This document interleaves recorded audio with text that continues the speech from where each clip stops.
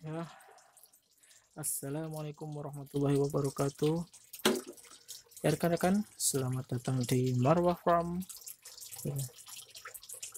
Kita masih melihat tentang kura-kura kita.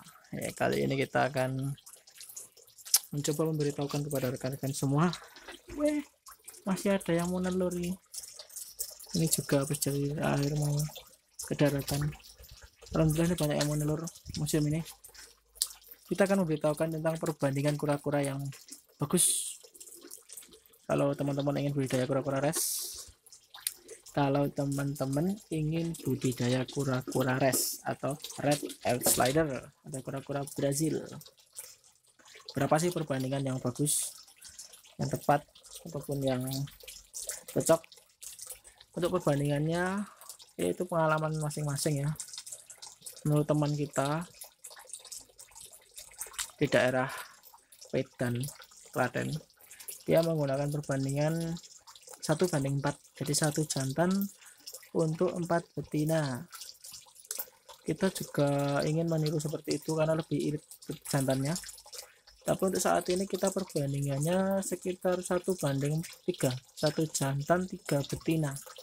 Kita punya jantan lima ekor dan betinanya itu 14 ekor. Jadi ya bisa satu banding tiga.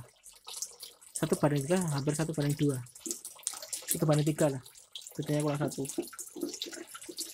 Mungkin kita akan datangkan betina lagi.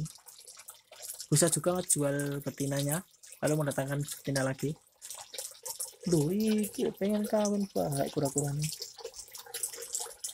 kura-kura sudah ingin ngejar-ngejar betina ya. jantannya dari beberapa hari terus terusan ngejar-ngejar seperti nah ya untuk perbandingannya di tempat kita satu banding tiga. Untuk kura-kura gede kura-kura di tempat kami. Satu banding tiga itu alhamdulillah udah udah bagus lancar. Untuk teman-teman yang ingin meniru kami atau rekan-rekan kami juga bisa. Satu banding empat atau banding tiga yaitu kalian coba sendiri kalian coba temukan settingannya sendiri.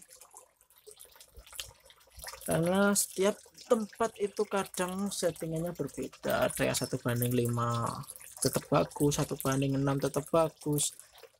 Peng makanan juga pengaruh. Suhu kemudian tempat berjemur atau basking dan ya telur banyak pun. Belum tentu juga netes.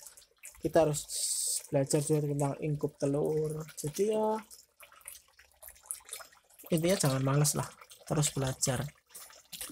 Tempat untuk yang mau kita beritahukan adalah tempat kami kita menggunakan perbandingan satu banding tiga. Insya Allah kita akan satu banding empat karena kita betina juga belum dapat. Kemarin ya sempat kita jual. Kita datangkan lagi. Kita jual kita datangkan lagi. Ya di otak atik terus nanti kita juga akan bikinkan video tentang inkup telur. Cara kami tentang inkup telur supaya gimana telur itu bisa menetas. Telur eh, yang kita inkup tinggal tanggal 22 kemarin. Jadi 22 September Oktober November mungkin. Nanti November kita bikinkan video kalau telurnya berhasil Bismillah. Kalau berhasil kita bikin video tentang lo itu melting dance kurang-kurangnya. Macam ajak kawin dia kura-kura masih muda itu pada kita akan bikin video tentang cara inkup telur. Kita menggunakan perlit. Alhamdulillah yang pertama berhasil.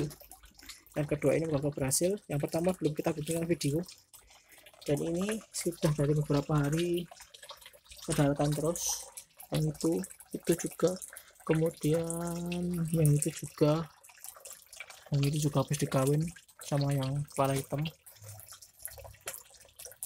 bahkan yang kura-kura yang kecil betina yang kecil itu juga udah kemarin. Alhamdulillah ini musim ini banyak yang bertelur.